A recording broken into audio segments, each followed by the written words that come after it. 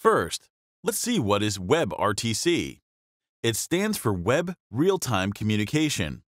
It is quite a fresh technology that supports advanced communication through the web. For example, it is used for audio and video conferencing, file exchange, screen sharing, etc. Usually, all traffic of the browser goes through the proxy. But if the website is using a WebRTC technology, in some particular cases, the device's real IP address leaks instead of the proxy's IP. First, I show that a regular browser with a proxy can leak my IP. This means that a proxy is not enough to browse the web with full anonymity, which can limit your access to the website service. But do not worry, Kameleo can take care of the WebRTC leak as well.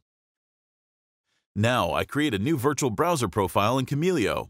I choose Chrome, and the region will be the United Kingdom. Then I set up a matching proxy for your profile's location. The WebRTC settings are located on the Profile Edit page. I'll go from right to the left. So now I select the Off option. The browser starts, and when I check it, my IP is leaking.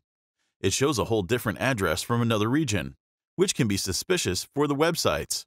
Let's see the second case when I select Block from the WebRTC settings.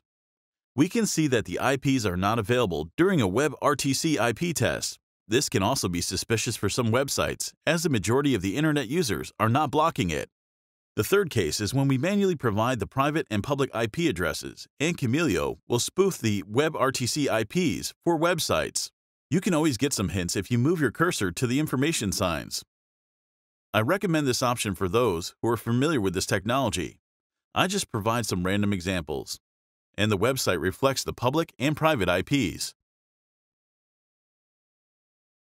The last option is automatic. I recommend using this setting. The public IP address during the WebRTC test is the same as my proxy's IP address. To make sure, I check it on another site, where it looks the same.